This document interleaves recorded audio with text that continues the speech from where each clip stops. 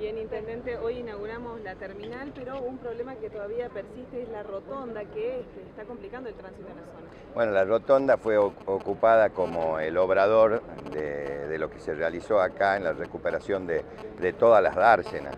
Eh, dentro de poco se va a volver vamos a volver a tener los salteños, el espacio verde que era esa rotonda, se va a parquizar, se va a arreglar bien ese lugar, así que estamos tranquilos, además eh, de obras internas que también va a ser la, terminal. La prioridad número uno era recuperar las dársenas que teníamos y el movimiento que tenía la terminal de ómnibus de la ciudad de Salta, que está totalmente recuperado y, terminado.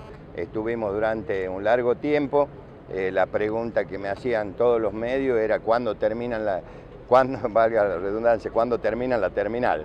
Este, y en realidad eh, eh, la obra demoró el tiempo necesario porque la queríamos hacer con todas las normas de seguridad.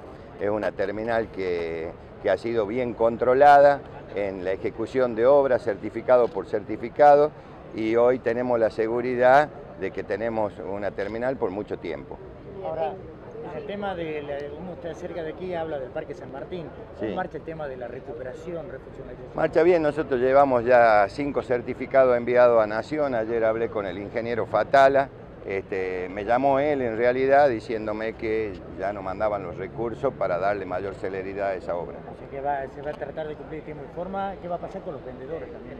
Eh, bueno, nosotros hablamos ya con los libreros, todo para reubicarlo, en, eh, sacarlo del lugar, después instalarlo con los mejores puestos, este, si se refiere a los libreros. Y si se refiere a los que están, a los vendedores que están este, eh, a la orilla del lago, eso tiene un tiempo hasta que no se haga un centro de compra donde lo podamos trasladar, van a persistir en el lugar. Lo cambio de tema, una buena noticia para los vecinos de Villa Esperanza, ¿puede ser? Sí, anoche estuvimos reunidos este, bueno, eh, anoche estuve en Villa Esmeralda.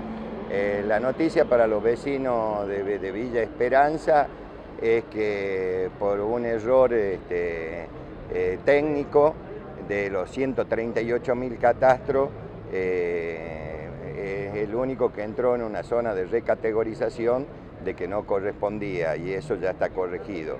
Y la otra noticia es para los vecinos de Villa Esmeralda que nos hemos reunido eh, anoche y dentro de 30 días voy a volver para ver el avance de todas las obras que vamos a realizar en el lugar.